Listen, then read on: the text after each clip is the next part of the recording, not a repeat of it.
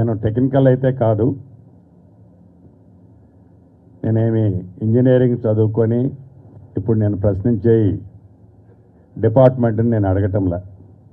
ఒక లేమ్యాన్గా ఎప్పుడైతే ఈ బ్యారేజీ కుంగిపోయిందో ఇంకొక బ్యారేజీ వర్టికల్గా నెర్రలిచ్చిందని ప్రజలకు తెలిసిన తర్వాత ప్రజల ప్రజలలో రచ్చబండ లాంటి ప్రాంతాల్లో చర్చ జరుగుతున్నది మిమ్మల్ని నేను అడుగుతున్నాను. కొన్ని పాయింట్లు. మొదటిది రాష్ట్రం విభజన జరగక ముందు ఆనాడున్న ప్రభుత్వం కాంగ్రెస్ ప్రభుత్వం నూట యాభై రెండు మీటర్ల లెవెల్లో పర్మిషన్ కావాలని పక్క రాష్ట్రంతో చాలా సంవత్సరాల నుంచి ఆ క్లియరెన్స్ పెండింగ్ ఉన్నది. నూట యాభై ఎనిమిది అని చివరికి నూట యాభై ఆరు అని చివరికి నూట యాభై రెండు మీద అలానే స్ట్రిక్కాన్ అయింది అప్పటి దివంగత నేత రాజశేఖర రెడ్డి గారి టైంలో డ్యాము లెవెల్ ఫిక్స్ కాకపోయినా ప్రాణయిత చేవెళ్ళ ద్వారా మిగతా పనులన్నీ చేపట్టి డ్యాము లెవెల్ ఫిక్స్ చేసే దాంట్లో అంతర్రాష్ట్ర పక్క రాష్ట్రంతో ఆ ఒడంబడికతో చర్చల్లో ఉన్నారు. ఇందాక మా ఇరిగేషన్ మంత్రి వారిలు అన్నట్లు ఆనాడు దాని కాస్ట్ సుమారు ముప్పై ఎనిమిది వేల కోట్లు. ఆయకట్టు వచ్చేసి సుమారుగా పన్నెండు వేల పన్నెండు లక్షల ఎనభై వేలు సుమారు పదమూడు లక్షల ఎకరాలు ఆయకట్టు. ఇందాక ఈఎన్సీ గారు అంటున్నారు పాత ఆయకట్టుని స్టెబిలైజేషన్ చేసేది దీంట్లో ఇన్కార్పొరేట్ చేయలేదు అని. డెఫినెట్గా దాన్ని కూడా ఇన్కార్పొరేట్ చేయాల్సిన అవసరం ఉంది. తర్వాత రాష్ట్రం ఏర్పడిన తర్వాత నేను చాలా తెలివిగా యాక్ట్ చేశాను. నూట యాభై రెండు మీటర్లకి గత ప్రభుత్వం ఉమ్మడి ఆంధ్రప్రదేశ్లో కొట్లాడిన గవర్నమెంట్ను కాదని ఒక మంచి ఆలోచనతో నేను నూట నలభై ఎనిమిది మీటర్లకే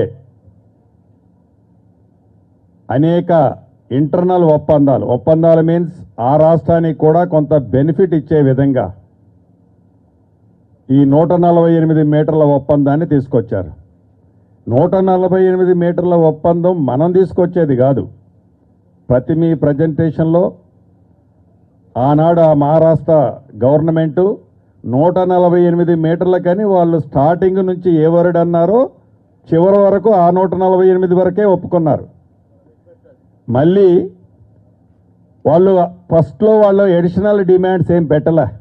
ఒకవేళ మీరు పవర్ ప్రాజెక్ట్ పెడితే దాంట్లో మాకు షేర్ రావాలి. మా ఆయకట్టు ఇంతకి వాటర్ మేము వాడుకుంటాం. ఎక్స్ వై జెడ్ అనే టర్మ్స్ ఏమి దాంట్లో పెట్టలేదు.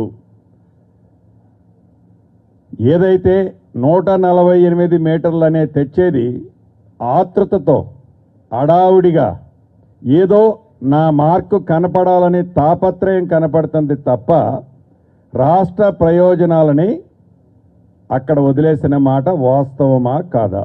Number one point number two dam కట్టారు. సార్ మీ టెండర్స్ ఎలా జరిగి టెండర్లో క్వాలిఫికేషన్స్ ఏంటి ఇతరత్ర ఏంటి ఎలా కట్టారు మీ క్వాలిటీ ఏంటి అనేది కాదు. మీరు ఏదైతే డ్యామ్ కట్టేటప్పుడు ఏవైతే సేఫ్టీ మెజర్స్ తీసుకుంటారో లేకుంటే ఆ టెక్నికల్గా డిజైన్స్ అప్రూవ్ చేస్తారో యాజ్ పర్ శాంక్షన్ చేసేటప్పుడు మీరు అప్స్ట్రీమ్ కట్ ఆఫ్ వాలు డౌన్ స్ట్రీమ్ కట్ ఆఫ్ వారు మీరు డయాఫ్రమ్ వాళ్ళు ఆర్సీసీ కాంక్రీట్తో వేయాలన్నది మీకున్న నామ్సు. దాన్ని మీరు డీవియేట్ అయి నిజంగా మీరు ఆర్సీసీతో కట్ ఆఫ్ వాల్ వేసి ఉండి ఉంటే కటాఫ్ వాల్ వేసి దాని మీద మీరు ర్యాప్ట్ వేసి ర్యాప్ట్ మీద డ్యామ్ మీరు పర్ఫెక్ట్గా కట్టి ఉండి ఉంటే మీకు వాటర్ ఇన్లెట్ అయి ఉండుండకపోతే ఈనాడు ఈ మేడిగడ్డ కానీ దీనిపైన ఉన్న డ్యామ్ కానీ ఆ పైన ఉన్న డ్యామ్ కానీ ఈ ప్రమాదం జరిగి ఉండేదా? మీకు ఈ పర్మిషన్స్ ఇచ్చేటప్పుడు కాంట్రాక్టర్కి డయాఫ్రమ్ వాలు ఆబ్లిక్ ఇంకొక టర్మినాలజీ ఏదో పెట్టారు. సెకండ్ పాయింట్ అని పెట్టారు. Second file. సో ఈ సెకండ్ ఫైల్ ఏదైతే ఉందో ఈ సెకండ్ ఫైల్ ఫెయిల్ అవ్వటం వల్లనే కదా? ఈనాడు ఆ వాటర్ ఇల్లెట్ అవ్వటం వల్లనే డ్యామ్ కింద ఉన్న sand day by day deplete అయి ఆ క్యావిటీ ఏదైతే ఏర్పడిందో క్యావిటీలోకి ఆ డ్యామ్ షింక్ అయింది. ఏదైతే మీరు ఈనాడు లక్ష కోట్ల పైగా ఖర్చు పెట్టారో ఇంజనీర్లైన మీరు అధికారులైన మీరు డ్రాయింగ్లు ఇచ్చిన వాళ్ళైనా కానీ ఎక్కడైనా గోదావరి మీద కానీ మహానదుల మీద ఇటువంటి డ్యాములు కట్టేటప్పుడు ఇటువంటి కాన్సెప్ట్తో మీరు upstream cut off down downstream cut ఆఫ్ని ఏ రకంగా కట్టాలో పరిగణలోకి తీసుకోవాల్సిన అవసరం ఉంది కదా? మీరు ఎందుకు తీసుకోలేదు అనేది నా ఫస్ట్ క్వశ్చన్ సెకండ్ క్వశ్చన్ మీరు డ్యామ్ కట్టిన మరుసటి సంవత్సరమే ఇందాక ఈఎన్సీ గారు చెప్పినట్లు మేము ఎక్స్పెక్ట్ చేసిన ఇరవై ఎనిమిది లక్షల క్యూసెక్లు డ్యామ్ కట్టిన రెండవ సంవత్సరమే సర్ప్లస్ అయింది అంటున్నారు. ఎస్ మీరు ఏదైతే ఎస్టిమేట్ చేశారో ఇరవై ఎనిమిది లక్షలకో ముప్పై లక్షలకో ఎస్టిమేట్ చేశారు. ఈ ఇరవై ఎనిమిది లక్షలు ముప్పై లక్షలు మీరు ఎస్టిమేట్ చేసిన క్యూసెక్లు డిశ్చార్జ్ అయినప్పుడు మీ డ్యాములు డౌన్ స్ట్రీమ్లో ఏదైతే ప్రొటెక్షన్ వర్క్స్ చేశారో ప్రొటెక్షన్ వర్క్స్ ఒక్క ఫ్లడ్కే వాషౌట్ అయ్యాయి. అసలు ఏమి మీరు డిజైన్ చేసినట్టు ఆ ఫ్లడ్కి డౌన్ స్ట్రీమ్లో మీరు ఏదైతే ప్రొటెక్షన్ వర్క్స్ చేశారో ఇవాళంతా శాండ్ మేత వేసిందో ఏదైతే మీరు హెవీ బ్లాక్స్తో మేము ప్రొటెక్షన్ వర్కులు చేశామంటున్నారో అవన్నీ వాషౌట్ అయి మీరు ఏదైతే డౌన్ స్ట్రీమ్ కట్ ఆఫ్ కూడా ఎక్స్పోజ్ అయిన మాట నిజమా కాదా? దానికి ఈరోజు వరకు మీరు రెమెడీ ఈ రోజు వరకు రెమెడీ ఏం చేశారు? సెకండ్ పాయింట్ థర్డ్ పాయింట్ ఏదైతే ఈరోజు కుంగిపోయింది రెండు వేల ఇరవై రెండు ఏప్రిల్ ఇరవై ఎనిమిది నాడు మరి ఎగ్జిక్యూటివ్ ఇంజనీర్ అతనే ఉన్నాడా? మారాడా? నాకు తెలియదు. రెండు వేల ఇరవై రెండు ఏప్రిల్ ఇరవై ఎనిమిదవ తారీఖు నాడు మీ ఎగ్జిక్యూటివ్ ఇంజనీర్ ఏదైతే ఇక్కడ ఈనాడు కూలిపోయిందో ఏదైతే షింక్ అయిందో ఇక్కడ ప్రమాదం ఉంది ఇక్కడ హెవీ సీపేజ్ వస్తుంది ఈ సీపేజ్ని ఇమీడియట్లీగా మీరు రెక్టిఫై చేయకపోతే డేంజర్ ఉందని మీ ఎగ్జిక్యూటివ్ ఇంజనీర్ మీ పై అధికారులకు ఏదైతే కన్స్ట్రక్షన్ చేసిన కంపెనీలకు లెటర్లు రాశారు దాని మీద ఆ రోజే మీరు శ్రద్ధ తీసుకొని ఉండి ఉంటే ఆనాడు ప్రభుత్వం ఆనాడున్న ముఖ్యమంత్రి ఇరిగేషన్ శాఖ మంత్రిగా ఉన్న ముఖ్యమంత్రి గారు మీరు శ్రద్ధ తీసుకొని ఉండి ఉంటే ఈనాడు ఈ డ్యామ్కి మీరు చేసిన తప్పులు కొంతైనా శ్రద్ధ తీసుకొని ఉంటే మళ్ళీ వాటర్ లేని టైంలో రెక్టిఫై చేసి ఉంటే ఈనాడు ఈ పరిస్థితి వచ్చి ఉండేదా? దాని మీద ఉన్నతాధికారులు ఏం చర్య తీసుకున్నారు? దాన్ని బాధ్యులను ఎవరిని చేశారు? ఆ బాధ్యులను చేసిన వారి మీద ఎవరి మీద యాక్షన్ చేసుకుంది? ఆనాడు ప్రభుత్వం ప్రభుత్వం డ్యాములు కట్టే దాంట్లో చూపించిన ఉత్సాహం టెండర్లో పిలిచిన చూపించిన ఉత్సాహం డ్యాములు కాపాడే దాంట్లో ఎందుకు ఉత్సాహం చూపలేదు? అంటే ఇక్కడ మీ పర్సనల్ ఇంట్రెస్ట్ లేదనే కదా వీటిని వదిలేసింది. డ్యాములు కడితే చాలు డ్యాములు కడితే వాటి మానాన్ని అయిపోతాయి. వాటిని మనం కాపాడినా కాపాడపోయినా మన పర్సనల్ ఇంట్రెస్ట్ ఫుల్ఫిల్ అయింది కాబట్టి డ్యాములు ఏమైపోయినా పర్వాలేదనే కదా వదిలేసింది. ఇటు అధికారులు కానీ అటు ఆనాడున్న ప్రభుత్వం ఇరిగేషన్ శాఖ మంత్రి గారు కానీ ఈ వేదిక ద్వారా వారిని నేను ప్రశ్నిస్తున్నా దీనికి ఆన్సర్ కూడా చెప్పాల్సిన అవసరం ఉంటుంది. ఇక డ్యాము. డ్యాము మీ క్రస్ట్ లెవెల్ ఎంత? గేట్ల లెవెల్లో ఉన్న మీ క్రస్ట్ లెవెల్ ఎంత? ఏదైతే మేడిగడ్డ డ్యాము నుంచి అప్స్టీము డ్యాము వరకు ఉన్న బెడ్లోది ఎన్ని కోట్ల క్యూబిక్ మీటర్లో ఎర్త్ వరకు చేసినట్టు మీ ఎంబుకుల్లో రికార్డు చేశారు.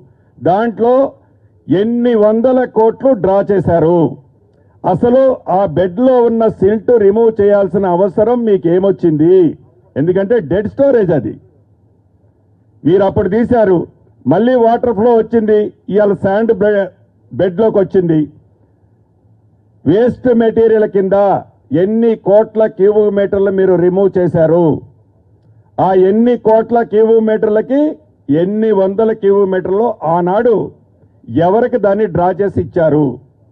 టెక్నికల్గా దాన్ని మీరు ఎలా సపోర్ట్ చేసుకుంటారు? వీటి మీద తప్పకుండా ఈ డ్యాముకు సంబంధించింది. ఇక పై డ్యాము కూడా సిమిలర్. ఈ క్వశ్చన్స్ అన్నీ క్రాక్ కుంగిపోయిన డ్యామ్ కానీ క్రాక్లు వచ్చిన డ్యామ్ కానీ ఇంకా భవిష్యత్తులో ఇబ్బంది కలిగేది కానీ నేనైతే ఒకటి నా డౌట్ క్లారిటీగా మీకు చెప్పేది. ఈ పిల్లర్స్ ఒక పిల్లర్తోనో రెండు పిల్లర్తోనో మూడు పిల్లర్లతోనో ఆగుతుందని నేను అనుకోవటం లేదు మంత్రి గారు. ఇది upstream cut off downstream cut off ఏదైతే ఉందో దాన్ని ప్రాపర్గా చెయ్యని కారణంగా ఈనాడు ఈ డ్యాములకి వచ్చిన పరిస్థితి. రెండవది క్వాలిటీ ప్రాపర్గా చేయకపోవటం వల్ల వచ్చిన రెండవ పొరపాటు. మూడవది ఏదైతే ర్యాఫ్ట్ వేశారో ఆ ర్యాఫ్ట్ కింద ఉన్న శాండ్ని కాంపాక్ట్ చేశామని చూపించిన మీరు దాన్ని ప్రాపర్గా కాంపాక్ట్ జరిగి ఉండి ఉంటే ఈనాడు ఈ డ్యాములకి ఈ పరిస్థితి వచ్చి ఉండేది కాదు. ఈ ఒక్క డ్యాము ఒక్క పిల్లరు అనేది ఇప్పుడున్న మన ప్రభుత్వం కాదు ఇది యావత్తు తెలంగాణ రాష్ట్రంలో ఉండే నాలుగు కోట్ల ప్రజలకు సంబంధించిన ఆస్తి. ఇది ఒక ఈ ప్రభుత్వందో ఆ ప్రభుత్వందో కాదు. అది కూడా డబ్బులు సర్ప్లస్ ఉండి మనం కట్టలేదు.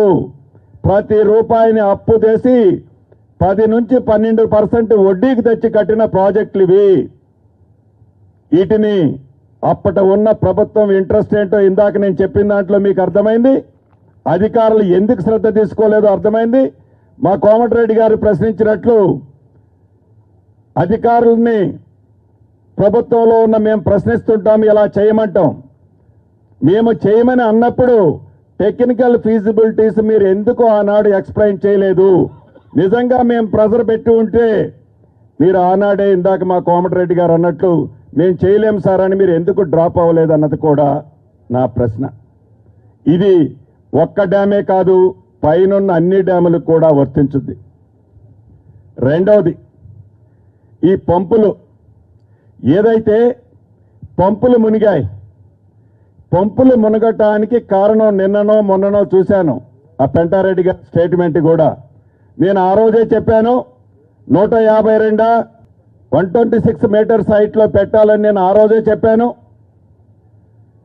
ఇది మీరు టెక్నికల్ శాంక్షన్ ఇచ్చి టెండర్స్ కాల్పేర్ చేసే రోజు వన్ ట్వంటీ సిక్స్ లెవెల్ పెట్టారు. మీకు ఇంజనీర్లు చాలా సీనియర్ మోస్ట్లు మీరు. ఇది ఇరవై ఎనిమిది లక్షల క్యూసెక్లు డిశ్చార్జ్ వస్తుందా? ముప్పై లక్షల క్యూసెక్లు డిశ్చార్జ్ వస్తుందా?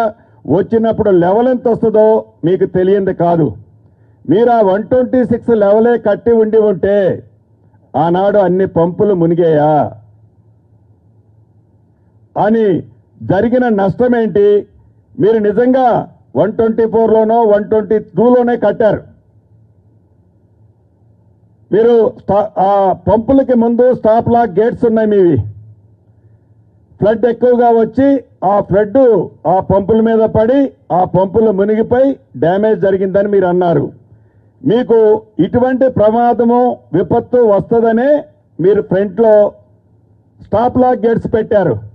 మీ స్టాప్ లాక్ గేట్స్ ఆ రోజు పని చేసాయా చెయ్యకపోతే దానికి ఎవరి మీద మీరు యాక్షన్ తీసుకున్నారు?